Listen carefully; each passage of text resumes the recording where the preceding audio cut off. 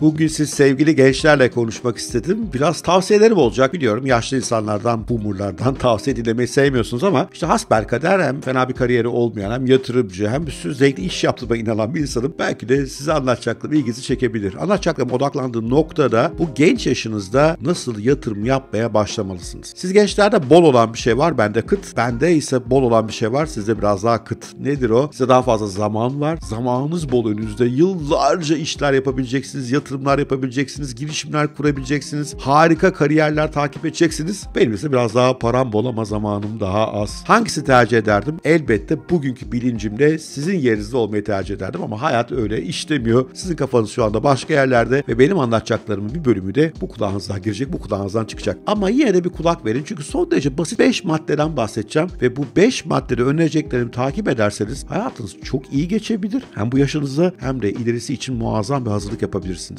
Hazırsanız başlıyoruz ve anlatacaklarım kesinlikle yatırım tavsiyesidir. İlki bu bol zamanınızda para kazanmayı öğrenmeniz lazım. Bakın kariyer yapmayı, bir işe girmeyi demiyorum. Para kazanmayı öğrenmeniz lazım. Çünkü bugün artık para kazanma fırsatları müthiş artmış durumda. Biz bu YouTube kanalını yarattığımızda ve Haddini Aşk kulübünü kurduğumuzda bugünkü gelir seviyemize bu hızla ulaşacağımızı hiç düşünmüyorduk. Ben 54 yaşındayım, eşim 43 yaşında. Çok da genç bu işlerden anlayan insanlar sayılmayız. Ama şu anda Haddini Aşk kulübü ve YouTube kanalımın ücretleri bir yere geldiğinde Türkiye şartlarının çok ötesinde bir hayat yaşayabiliyoruz. Ve biz bu da yaptıklarımızı çok geç yaşımızda öğrendik. Daha evvel eşim Türkcell'de çalışıyordu. Daha sonra ayrıldı, koçluk mentorluk yapıyordu. Ben de büyük kurumlara eğitim hizmetleri veriyordum. Yani oralardan da para kazanıyorduk. Ama şu anda hem evimizden para kazanıyoruz hem daha fazla kazanıyoruz. Hem de dilediğimiz anda dijital göçmen haline gelebiliriz. Nedir dijital göçmen? Dünyanın herhangi bir yerinde işimizi yapabiliriz. Çünkü artık biz içerik üretiyoruz ve bu içeriklerimizin üzerinden gelir elde ettiğimizi ispatladığımız anda bize bir yıl, iki yıl, üç yıl vize verecek çok ülke var. Yakında da düşünüyoruz bu arada böyle bir hareket. Bunu size çok tavsiye ederim. Yani para kazanmayı öğrenin ve içerik üreterek çünkü bu yüzyıl içeriğin çok değerli olduğu bir yüzyıl. Ve aklınızdan şu geçebilir. Hocam ben ne anlatabilirim ki? Zaten her konuda içerik var. Öyle değil. Bakın ben çok dar bir alana odaklandım. Amerika Birleşik Devletleri'nde Nasdaq borsasına nasıl yatırım yapılır gibi daracık bir alan. Çünkü böyle bir içeriğe ilgi gösterecek insanların parasının olması lazım. Türkiye'de biraz kıttır. O paranın biraz bolca olması gerekiyor. Çünkü Nasdaq'a yatırım yapmak çok ucuz bir şey değil. Risk almayı seviyor olmaları gerekiyor. Öğrenmeleri gerekiyor. Yabancı bir hisse senedine yatırım yapma heveslerinin olması gerekiyor. Bu çok tabii daracık bir niş, küçücük bir topluluk ama bize yetiyor. O yüzden kendinize dar, küçük bir niş bulup onların ilgisini çekecek, onlara bir şey öğretecek, onları eğlendirecek içerikler yaratabilirseniz ve bunları farklı içerik paylaşım platformlarında etkili bir şekilde sunarsanız para kazanmaya başlamış olursunuz. Para kazanmayı öğrenmekten kastım bu. İlla içerik üreticiliği değil. Bugün daha başka girişimcilik fırsatları da var. Eğer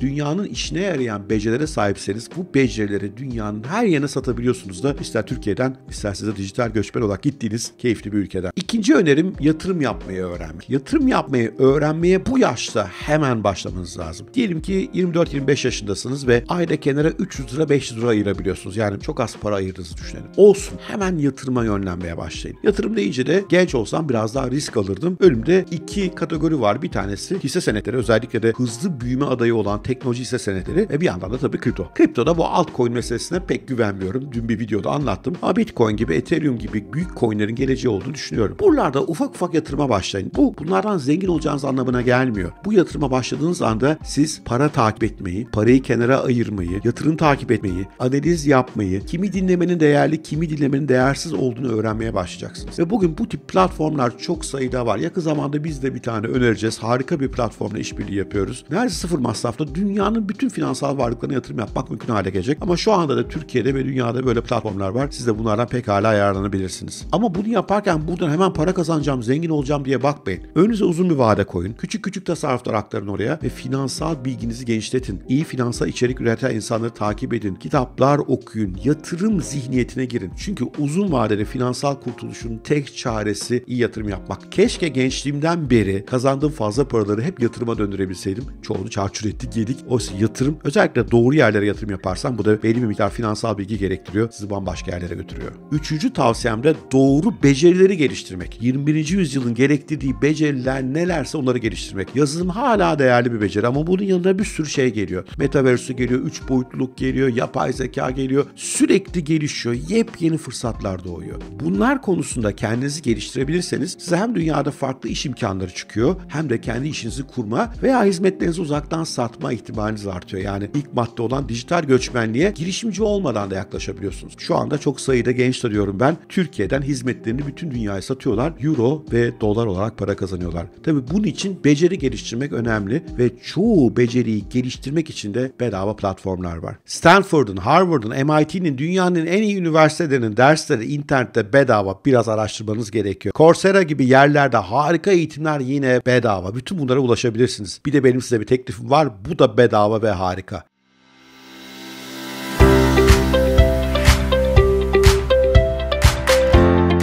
McKinsey dünyanın en önemli danışmanlık firması ve McKinsey siz gençler için özellikle kariyerin başındaki gençler için harika bir önerisi var. Forward isimli bir program açıyorlar. Forward tamamen ücretsiz. Birkaç yıl çalışmış olmanız yeterli. Öyle çok baba üniversiteler mezun olmanıza da gerek yok. İngilizcenizin azıcık iyi olması lazım ama süper olmasına gerek yok. Ve sadece bunlara sahipseniz bu programa başvurup kabul edilip harika bir eğitim alıyorsunuz. McKinsey'in danışmanlarından. Eğitimlerin tamamı online. Gruplarla görüşüyorsunuz. Arkadaşlar ediniyorsunuz. Dünya dünyanın dört bir yanından insanlarla global küresel düşünmenin tadını çıkarıyorsunuz. Neler var programda? Bu programda 21. yüzyılda seni öne çıkaracak etkinlikler var ve tamamen ücretsiz. Düşüncelerinizi, fikirlerinizi doğru anlatmak, daha yaratıcı düşünmek, pratik olmak, bazen sıkışmış hissediyorsanız kendinizi, zihinsel esnekliğinizi geliştirmek, duygusal zeka, kariyerinizde ilerlemeniz için neler yapacağınız konusunda kendinize liderlik etme becerisi, geleceği okuma yetkinlikleri ve tabii bütün bunlarla beraber 20. yüzyılın en temel gerçeği olan dijitalleşme, dijital bakış açısı ve büyüme odaklı yaklaşım, değişime uyum becerisi gibi pek çok şeyi öğretiyorlar. İnanın bana ben büyük şirketlere böyle eğitimler veriyorum ve bunları binlerce dolar para alıyoruz. Bu eğitim sizler için tamamen bedava. Koşullarını tekrar söyleyeyim. Bir yerde çalışıyor olmanız veya çalışmış olmanız yeterli. 5 yıldan fazla iş tecrübesini istemiyorlar. Hiç çalışmamış olmak kabul değil. Üniversiteden mezun olmanız lazım. Çok baba üniversiteye gerek yok. İngilizceniz de eh idare eder seviyede ise programa aşağıdaki ve yukarıdaki linkten başvurup hemen katılıyorsunuz. Daha evvel bu programa yine bizim aracılığımızla katılanlar oldu oldular. Müthiş mutlu oldular. Bize çok güzel teşekkürler ettiler. Çok keyifler almışlar. İnşallah sizin için de harika bir deneyim olur. Buradan da dördüncü maddeye gelelim. Hayatınıza güzel deneyimler sokun. Kazandığınız parayı pahalı bir cep telefonuna harcamayın. Kazandığınız parayla kendinize en güzel tişörtü, en marka spor ayakkabıyı almaya çalışmayın. Bunun yerine bütün bunları deneyimlere dönüştürün. Ya yatırım yapın onlar küçük küçük ya da deneyime dönüştürün. Deneyim demek ne demek? İşte gezebildiğiniz kadar Türkiye'den şimdi zor biliyorum. Dünyayı, Türkiye'yi gezmek, yeni şeyleri denemek, yeni maceralara atılmak, başkasını hiç denemediği görmediği, gitmediği yerlere gitmek bütün buna işte birer deneyim zenginleştirici.